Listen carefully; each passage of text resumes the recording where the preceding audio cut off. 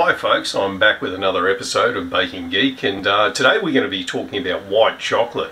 Now white chocolate's a bit of a different beast than dark chocolate. Um, mainly being it's not actually a proper chocolate, it's just mainly an extract of the uh, cocoa butter. So that's the stuff that you're tasting is white chocolate. But I'm going to make a white chocolate ganache today and later I'm going to be using that in the middle section of a gâteau. So I wanted to do this video first before we actually get into the gâteau.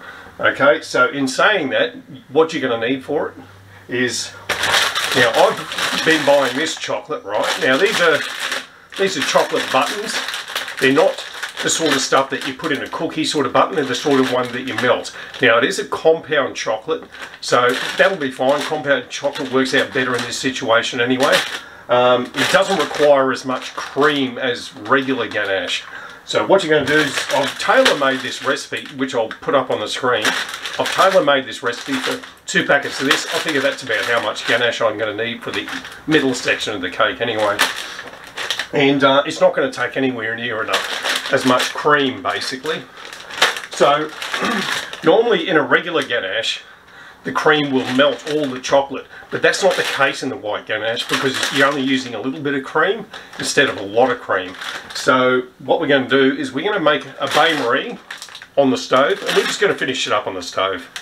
I find that unless you're doing a bulk mix where there's a lot of heat that's going to go into it that's going to melt that white chocolate, um, I wouldn't use a planetary style mixer on this. Bowl's fine. We're just going to stir it slowly with a whisk and finish it up. Okay? Alright, let's get this stuff on the stove.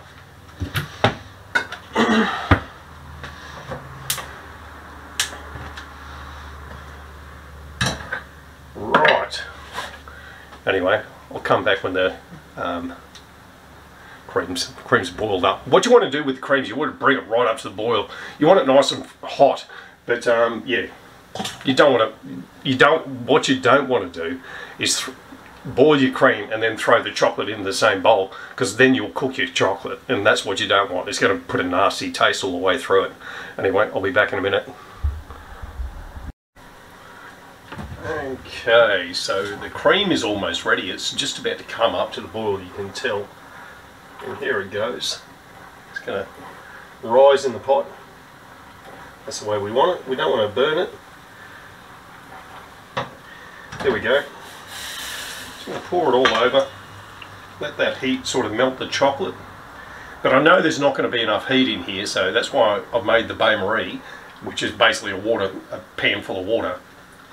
And we're just going to stir it gently. And we're not, I don't want to see you stir, stir fast, folks, okay? That will help separate your cream, and then you know what happens when that happens. It, your cream separates into butter than water, and we all know what water does to chocolate, so know, you don't want to be doing that. So just combine it.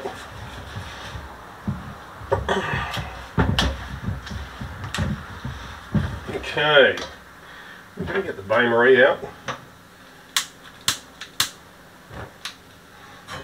Okay. Just going to keep stirring it just to get the last of that chocolate melted all the way in.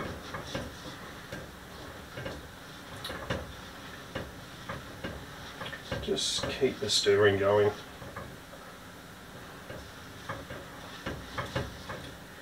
Now, if, you, if you're thinking white chocolate looks a little bit on the white ganache, sorry, looks a little bit on the yellow side, um, it, it is like it does take on a yellow tinge to it, especially when it sets. And if you do ever done a cake with it, it it'll look yellow but you can make it white. You put it in a planetary style mixer, give it a whiz, and it will change colour into that nice pearly white that you need for your cake. Alright, there's a pro tip.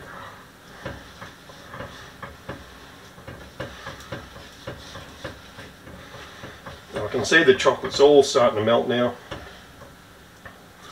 And this ganache is looking beautiful.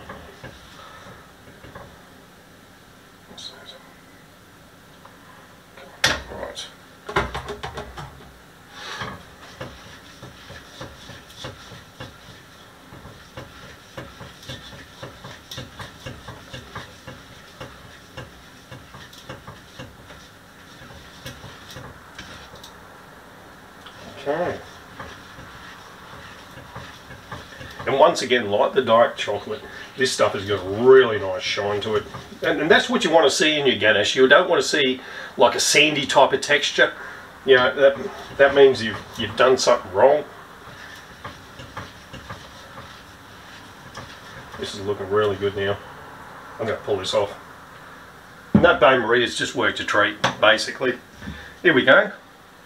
Nice big bowl of shiny white ganache. Yeah. That's going to look sensational. That's going to actually taste sensational in the middle of this cake that I'm planning. Anyway, folks, that's the episode. I'll see you later.